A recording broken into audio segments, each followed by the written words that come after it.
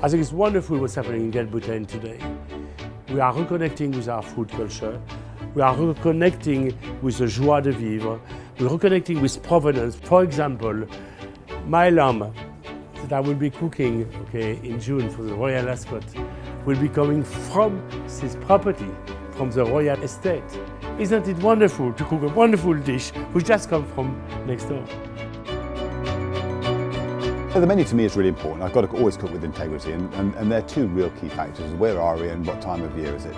It'll be, without exception, British ingredients. It'll be elegant, but it'll be seasonal. You know, there'll be asparagus, there'll be, there'll be strawberries, because how can you ignore those two ingredients in particular in this country at that time of the year? It's beautiful as a simple philosophy